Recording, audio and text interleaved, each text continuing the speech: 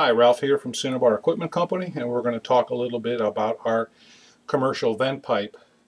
If your boiler, being natural gas or propane, is requiring a category 1, 2, 3, or 4 vent pipe, or if it's requiring a UL rated 1738, or if the requirements are an AL 294C stainless steel, this vent pipe falls under all three categories. Again, category 1, 2, 3, or 4, UL 1738 or AL 294C.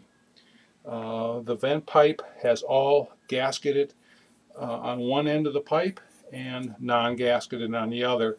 So you merely push one piece of pipe into the other. The smaller pipe diameter 3, 4, 5, and 6 comes with a clamp that you then clamp down. The larger pipe does not have a clamp, but that inner seal is what's making that solid connection. This is an example of the single wall pipe. Also available is the double wall pipe, same type of gasket inside one end, non-gasketed on the other end. The inner pipe is made out of the AL294C stainless steel. The outside is a 304 grade of stainless steel.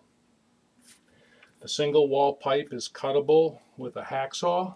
Now you're going to have to use a carbon steel blade on the hacksaw to get through the pipe. You're going to have to allow about two inches if you end up cutting a piece of pipe to end up making the connection to the other piece of pipe. So don't trim it down too short. Uh, you're also going to need a file.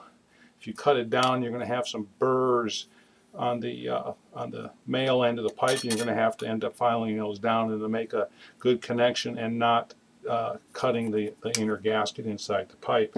The uh, double wall is not cuttable.